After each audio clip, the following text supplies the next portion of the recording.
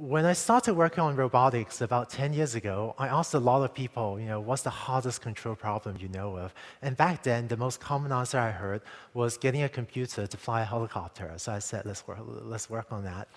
Um, and our helicopter here is instrumented with uh, GPS accelerometers and a compass, and so it always knows where it is.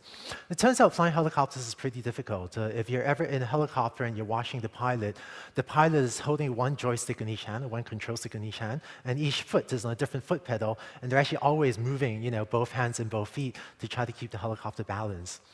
So for a computer, the problem is 10 times a second, you're told where the helicopter is, and you need to figure out how to move all these control sticks to keep the helicopter in the air.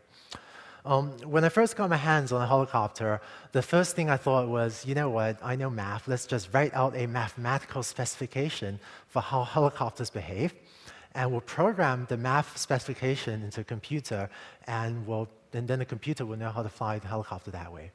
Um, turns out I have a friend who had taken that approach. Let me play a video that I got from him. When I play this video, you hear David's voice say enable control, and that's when his program takes over this helicopter. Oops, excuse me. There. Enable control! Abort, abort, abort! So. so there's him shouting, abort, abort. Um, so when I saw this, what I realized is that helicopters are just too complicated and their aerodynamics are just too complicated. No one can sit down and just write out a mathematical specification for how to fly a helicopter. Um, instead, what I realized is that a much better way to try to do this is to let a computer learn by itself how to fly a helicopter.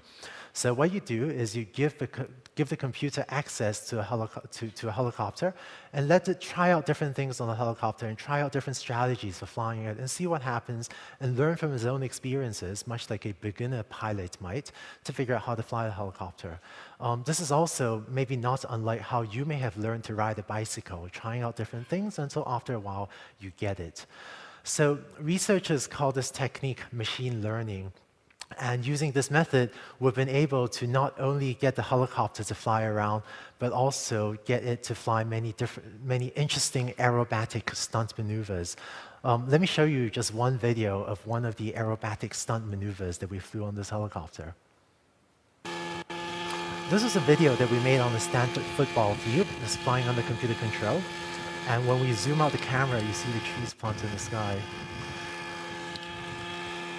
So among being able to fly upside down, first helicopter in the world able to do so under computer control, um, our helicopters can now fly, uh, fly maneuvers and stunt maneuvers at a skill level comparable to the very best human pilots in the world.